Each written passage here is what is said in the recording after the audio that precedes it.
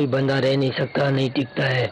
जो बंदे बैठते आते हैं चौकीदार या वगैरह। रह नहीं सकते। जनावत है या बूत है वो कोई बंदा बंदे को आवाज़ आती है रात को और कोई भी नहीं रह सकता। जो भी रहते हैं आती है। सारे बीमार हो जाते हैं दो तीन दिन में। अच्छा हम यही सुन के आए हैं कि इधर ऐसे बीमार होते हैं कि उनकी मौत वाकई हो जाती है। हाँ, वजह भी समझ नहीं आती। खतरे वाली जगह है ये।